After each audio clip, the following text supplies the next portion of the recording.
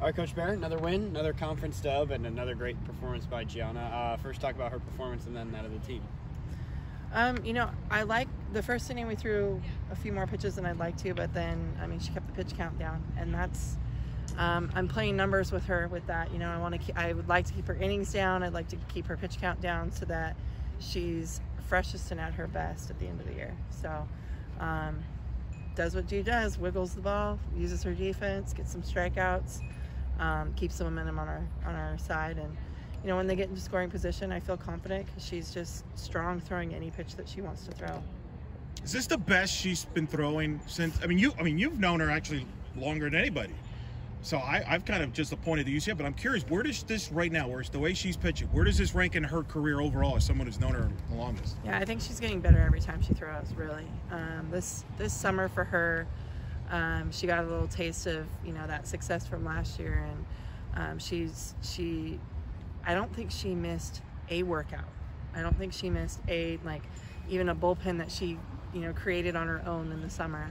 Um, and Jada stayed here with her too, with, along with some of her other teammates. So um, it is the best that you know she's getting better every time she throws, and I think it's even if she doesn't have her stuff, um, she still like is is learning and trusting that like, all right, I can utilize my defense, and you know I, I can throw the down ball, I can throw the up ball, whatever is going to work that day. And so you got to see that with Virginia Tech because Virginia Tech made it a, an adjustment on her in uh, Game Three and she switched gears and held us in there. And I just love how she has the ability to do that.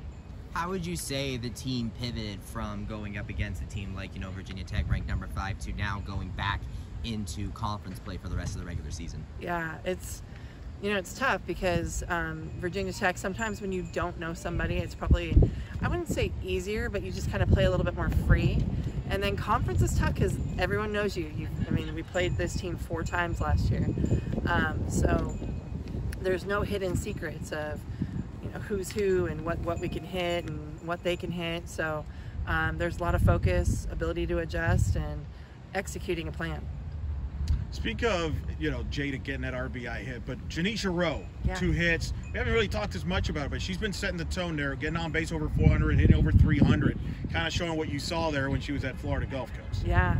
Well, um, you know, the last few games, like if you looked at our stats for like eight games prior to today's game, um, you wouldn't be like, "Whoa, this team's amazing," but we're five and three against top 50 teams in the last eight games, right? Um, and I, we, you know, Janisha and I sat down and just chatted today, and I said, "Hey, um, you know, I know that you're you're not feeling like you're as successful as you would like to be, but." I want you to see what you are doing. And when you face those types of pitchers, these are these are good numbers. They're not great numbers, and I get that. But look at this number. This is the most important, and it was five wins. We're five and three in the last eight games against the teams we've been facing, and so um, I said, but now it, it's your turn to, you know, be, put havoc on the the defense, and she did that today. So loved her at bats, loved what she's doing, love how she kickstarts our our lineup. Um, you know, Kennedy was our, our leadoff hitter last year, but it's it's even more fun to have Kennedy come up with somebody on. So. Man, Kennedy drove in a run too. Has been flourishing at the two spot, hitting in front of Jada. Yes, yes. I, I mean, I think all of them really have, um, you know, added to each other's success. Um, like Jada having the RBI that she's having, and um, even Shannon. You know, like Jada's cleaned up those bases quite a bit, and Shannon still has the RBI that she has. I mean, there's something to be said about that. Um, and so it, it's just fun to see them all work together. And I don't want to be a pitcher against those four, five, six, I mean, shoot, one through nine, and then the people that we can bring off the bench as well. This is alumni weekend. Obviously, had a big yeah. event on Thursday. The players have gotten to see a lot of the, the alums. Dottie Cup, the original great pitcher here, pitched on the so first awesome. two years. Got to be here, meet the team and others. Megan Greenwell. There's going to be more on the weekend. How do you feel the players are handling that as far as getting to now know the, the alums here and knowing the history here as the years gone on? I, you know what? I think they're really loving it because I asked them. We had a Zoom call last night, and I mean, to ask 18 to 22 year olds to give up 8:30 till about 10:15 on their, um, you know, Thursday night, the night before a game, they might be studying. They might just want to watch Netflix, um, and they were locked in and dialed in. And so we had our our player coach meetings today, and all of them were like, we loved the stories. We loved hearing from them, like how they grinded through. And I think what's so cool is hearing how proud the alumni are of this current team because um, they're grinding through it. Like there's times like you know people on the outside are like, oh, they're so successful, but it's hard to feel successful when you go up against a Richard or you know a Coric and you have six to seven strikeouts. It's hard to still feel good and get through it.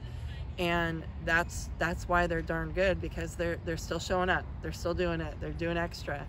Um, and so to hear the alumni speak so, you know, they're so proud of them and just the connection. And I, I'm meeting some of them along with them. So it's just cool because we're very family oriented here. And um, I want them to feel like they can come back. And I'll, I'll say it, you know, our goal is to get them in that front seat at the World Series behind our dugout, um, acting crazy. So you know, we talk about the team learning the history of this program, but obviously this current team is making a little bit of history of its own. Jada Cody becoming the ninth uh, UCF player in history to get 100 RBI. She's obviously also uh, on the quest to his best Stephanie Best 66 RB, uh, RBI season.